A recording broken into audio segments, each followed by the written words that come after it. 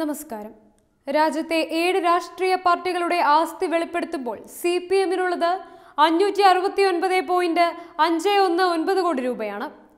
രാജ്യത്തെ മുഖ്യ പ്രതിപക്ഷമായ കോൺഗ്രസിന് അഞ്ഞൂറ്റി എൺപത്തി എട്ട് പോയിന്റ് ഒന്ന് ആറ് പൂജ്യം കോടി രൂപയും. രാജ്യത്ത് ആറ് പതിറ്റാണ്ടിലേറെ ഭരിച്ച ഒരു പാർട്ടിയുടെ ആസ്തിയും രാജ്യത്ത് വെറും മൂന്നര കോടി ജനങ്ങൾ മാത്രം വസിക്കുന്ന ഒരു സംസ്ഥാനം ഒന്നിടവിട്ട് ഭരിക്കുന്ന പാർട്ടിയും തമ്മിലുള്ള സമ്പത്തിന്റെ വ്യത്യാസമാണ് അസോസിയേഷൻ ഫോർ ഡെമോക്രാറ്റിക് റീഫോം കഴിഞ്ഞ ദിവസം പുറത്തുവിട്ട ഈ കണക്കിൽ വ്യക്തമാക്കുന്നത്. കോൺഗ്രസിന് നാൽപ്പത്തി ഒൻപത് പോയിന്റ് അഞ്ച് അഞ്ച് കോടി രൂപയുടെ കടബാധ്യതകൾ ഉള്ളപ്പോൾ സി പി എമ്മിനാകട്ടെ മൂന്ന് പോയിന്റ് രണ്ട് പൂജ്യം കോടി രൂപയുടെ കടബാധ്യതയാണുള്ളത്. അതും ബാങ്ക് വായ്പയോ ഓവർ ഡ്രാഫ്റ്റോ ഒന്നുമല്ല. സി പി എമ്മിന്റെ ഈ കടബാധ്യത എന്നതും ശ്രദ്ധേയമാണ്. വെറുമൊരു സംസ്ഥാനം മാത്രം ഭരിക്കുന്ന ഒരു ദേശീയ പാർട്ടിക്ക് ആരാണ് ഇത്രയധികം പണം നൽകുന്നത് എന്ന ചോദ്യം വളരെ പ്രസക്തമാണ്.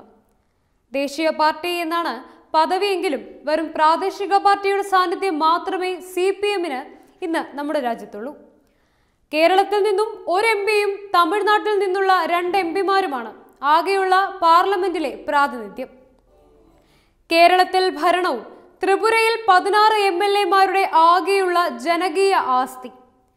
തമിഴ്നാട്ടിൽ ഡി എം കെയുടെയും കോൺഗ്രസിന്റെയും പിന്തുണയോടെ നേടിയ രണ്ട് സീറ്റുകളും രാജസ്ഥാനിലെ രണ്ട് ബീഹാറിൽ കോൺഗ്രസിന്റെയും ആർ ജെ ഡിയുടെയും സഹായത്തോടെ കിട്ടിയ രണ്ട് സീറ്റുകളും ആസാമിൽ കോൺഗ്രസ് സഹായത്തോടെ ലഭിച്ച ഒരു സീറ്റും ഹിമാചൽ പ്രദേശ് ഒഡീഷ മഹാരാഷ്ട്ര എന്നിവിടങ്ങളിലെ ഓരോ സീറ്റുകളും ചേർത്താൽ ഇന്ത്യ മഹാരാജ്യത്തിലെ സംസ്ഥാന നിയമനിർമ്മാണ സഭകളിലെ സി പി എമ്മിന്റെ ആകെ തുകയായി.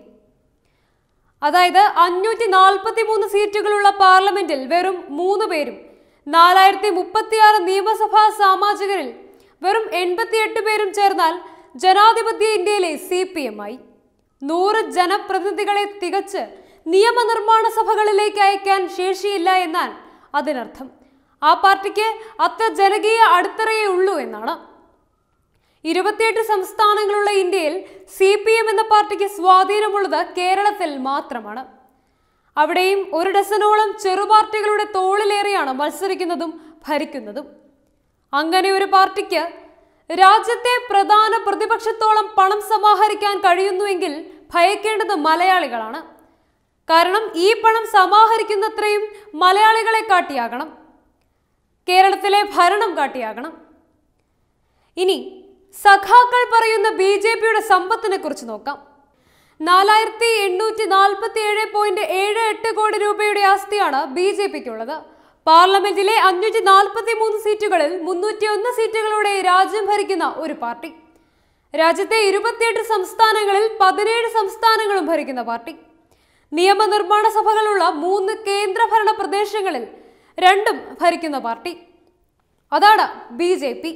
അധികാരമല്ല മറിച്ച് ആ പാർട്ടിയുടെ ജനകീയ അടിത്തറ വ്യക്തമാക്കുന്നതാണ് ഈ കണക്കുകൾ.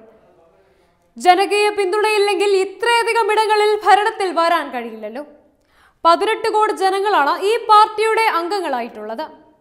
അഞ്ച് രൂപ മുതൽ ആയിരം രൂപ വരെയാണ് സാധാരണ ജനങ്ങളിൽ നിന്നും പാർട്ടി അംഗങ്ങളിൽ നിന്നും ബി ഓരോ വർഷവും പാർട്ടി ഫണ്ടായി സമാഹരിക്കുന്നത്. ഈ അംഗങ്ങൾ മാത്രം അഞ്ഞൂറ് രൂപ വീതം നൽകിയാൽ തന്നെ ഒൻപതിനായിരം കോടി രൂപയായി. അതുകൊണ്ട് തന്നെ ബി ജെ പിയുടെ ആസ്തിയിൽ അത്ഭുതം കുറയേണ്ട കാര്യമില്ല. പക്ഷേ സി പി എമ്മിന്റെ കാര്യം അങ്ങനെയല്ല. പത്തു ലക്ഷം അണികൾ തികച്ചില്ലാത്ത പാർട്ടിയാണോ സി പി എം. രണ്ടായിരത്തി പതിനഞ്ചിലെ കണക്കനുസരിച്ച് ഒൻപത് ലക്ഷത്തി പതിനായിരത്തി അറുന്നൂറ്റി ഇരുപത്തിനാല് അംഗങ്ങളാണ് സി പി എമ്മിനുള്ളത്. അഞ്ഞൂറ്റി അറുപത്തി ഒൻപത് പോയിന്റ് അഞ്ച് ഒന്ന് ഒൻപത് കോടി രൂപയുടെ ആസ്തി. സി പി എമ്മിന് സമാഹരിച്ചു നൽകാനുള്ള ആൾബലം പോലും ഈ മഹാരാജ്യത്ത് ഈ പാർട്ടിക്കില്ലെന്നത് വ്യക്തമാണ്. അപ്പോൾ സി പി എമ്മിന്റെ ഈ ആസ്തി എങ്ങനെയുണ്ടായി എന്നത് അന്വേഷണ വിധേയമാക്കേണ്ട സംഗതി തന്നെയാണ്. ഇത് കേൾക്കുമ്പോൾ കോൺഗ്രസ് എത്ര ഭേദമെന്ന് നിങ്ങൾക്ക് സ്വാഭാവികമായും തോന്നും. എന്നാൽ അതങ്ങനെയല്ല. കാര്യങ്ങളെന്ന് മറ്റു ചില കണക്കുകളും സൂചിപ്പിക്കുന്നു. കോൺഗ്രസിന്റെ ആകെ ആസ്തിയേക്കാൾ വളരെ വലുതാണ് ഓരോ കോൺഗ്രസ് നേതാക്കളുടെയും ആസ്തി. പി ചിദംബരത്തിന് മാത്രം തൊണ്ണൂറ്റിയഞ്ച് കോടി രൂപയുടെ ആസ്തിയുണ്ട്.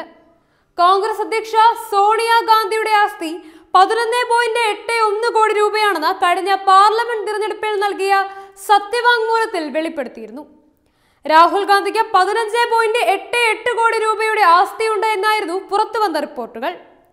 Web desk Tatwamayi news.